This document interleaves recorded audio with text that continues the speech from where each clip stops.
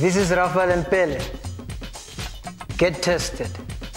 It is cool to know your status.